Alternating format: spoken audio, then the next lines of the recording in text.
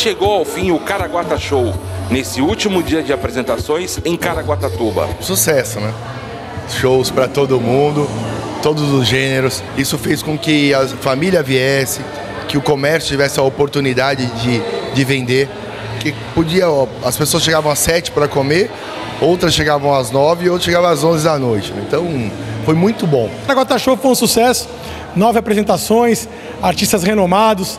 Tivemos aí alguns shows com grande destaque, acima de 35 mil pessoas de público na Praça da Cultura. E tudo isso ajudou aí a aquecer ainda mais o finalzinho de dezembro. O sábado começou com o show do artista de Caraguá, Mano Azul, com muito rap e hip hop. Ele ressaltou a importância da cultura de rua pela primeira vez em um grande palco na cidade. É uma, uma importância muito grande, né? É, por ser um artista local, abrir um show desse porte, ainda mais no encerramento. Eu sou o representante do movimento hip hop aqui em Caraguatatuba e a gente teve a oportunidade de pela primeira vez vir com o rap, né? E foi muito surpreendente porque a aceitação foi muito legal. Né? Havia um, antes um pouco de rejeição e tal, mas acho que isso foi quebrado hoje, né? O pessoal veio com a gente. O último show da temporada de verão em Caraguatatuba é de Marcelo Falcão com a turnê Melhor Dia Deve Ser Hoje e levou a galera à loucura.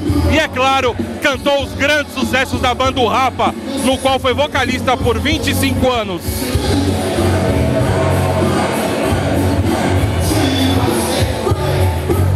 Falcão contou os detalhes da turnê e os projetos para 2024. Primeiro, dar um salve para todo mundo de Caraguá, agradecer poder fazer parte da, da rota musical da rapaziada que passou por aqui. A gente encerrando hoje, né? E agradecendo muito a galera que está colando aí para ouvir um som. E dizer que 2024 agora é terminar o segundo álbum solo meu. E aí se divertir muito na estrada. Estamos indo para os Estados Unidos agora em março, abril. E voltando, já dou a sequência para finalizar um DVD que a gente tem que fazer também. Então, esse ano tem um disco novo, um DVD para ser feito, com muitas participações. E felicidade de estar na estrada com a minha banda, com todo mundo. Que a galera aqui que está aguardando pode esperar para o seu show de hoje. Pode esperar felicidade, muita música na cabeça para a gente se divertir, dançar, com chuva ou sem chuva. Música de geração para geração. Kimberly fez questão em trazer os filhos para curtir o show. Faz parte da nossa história, do nosso amor e dos nossos amores. Então é da nossa vida. Cada música dele representa muito a nossa história. Vocês vieram exclusivamente para o show ou estão aqui em Caraguá passando férias? Exclusivamente para o show. Trabalhei hoje e vim para o show. E para os filhos, como que passa toda essa energia do show? De amor alegria. Aproveitar a vida e viver, né?